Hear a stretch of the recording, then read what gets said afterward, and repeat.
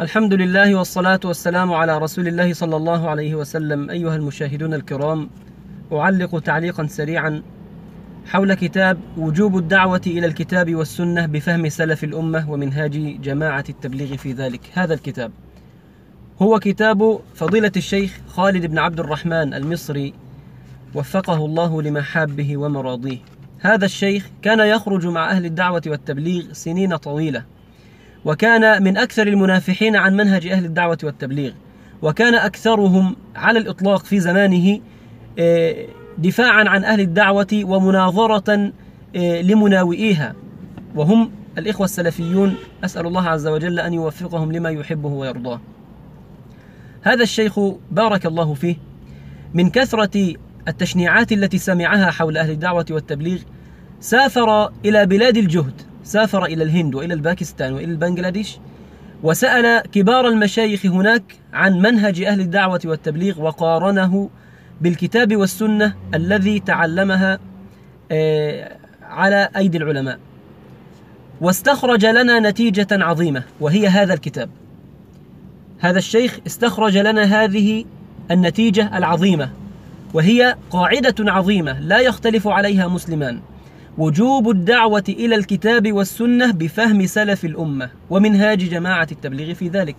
الشيخ بارك الله فيه انتصر لأهل الدعوة والتبليغ واستخلص من رحلته ومن رحلاته مع أهل الدعوة والتبليغ أنهم يدعون إلى الكتاب والسنة وأنهم على منهاج السلف وأنهم على منهاج النبوة.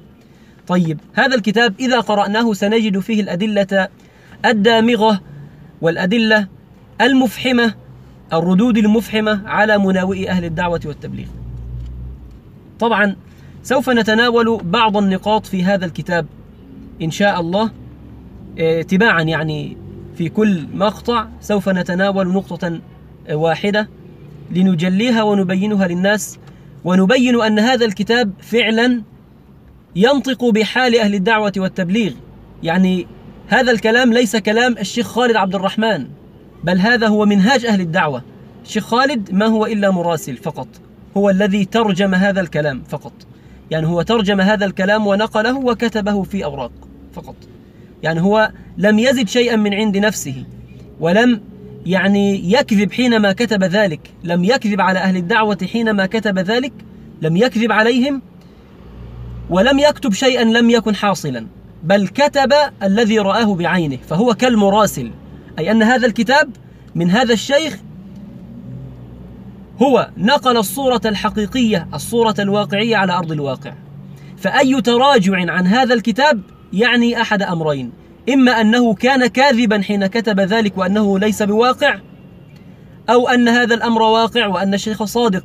فإذا كان هذا الأمر واقعا والشيخ صادق فيما كتب فلا يحق له أن يتراجع. عما يتراجع؟ يتراجع عن واقع يتراجع عن واقع هذه حياة أهل الدعوة والتبليغ. كيف يتراجع عن واقعهم عن حياتهم؟ هو يتراجع عما يعتقد هو يتراجع عما يرى. لكن يتراجع عن صورة واقعية هو نقلها كالمراسل ليس هذا في عالم التحقيق وليس هذا في عالم الإنصاف أبدا. فسوف نقرأ إن شاء الله في المقاطع القادمة بعض النقاط من هذا الكتاب ونجلي هذا الأمر بإذن الله. أسأل الله سبحانه وتعالى التوفيق والسداد. إنه ولي ذلك والقادر عليه.